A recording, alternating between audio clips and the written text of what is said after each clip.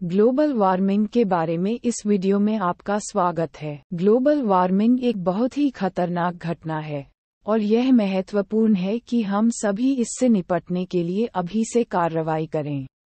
Global warming का अर्थ है पृथ्वी के वायुमंडल का गर्म होना, क्योंकि सूर्य की किरणें इस वायुमंडल में बनने वाली प्रदूषित गैसों की परतों में फंस जाती हैं। इसे ग्रीनहाउस प्रभाव के नाम से भी जाना जाता है।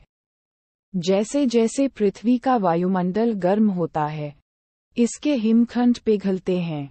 इसके समुद्र का स्तर बढ़ता है और इसके मौसम के पैटर्न में अत्यधिक गड़बड़ी होती है। हम सभी के लिए ये बहुत महत्वपूर्ण है कि हम ग्लोबल वार्मिंग से निपटने के लिए हर संभव प्रयास करें। मनुष्य वायुमंडल में प्रदूषणकारी गैसों या ग्रीनहाउस गैसों को छोड़कर ग्लोबल वार्मिंग पैदा करते हैं, जिसका मुख्य कारण जीवाश्म ईंधन का जलना है।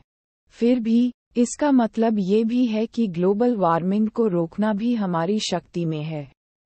बड़े व्यवसायों से लेकर व्यक्तिगत उपभोक्ताओं तक, ग्रह के लिए बेहतर विकल्प चुनना हम सभी पर निर्भर है। देखने के लिए धन्यवाद। कृपया लाइक, सब्सक्राइब और शेयर करें।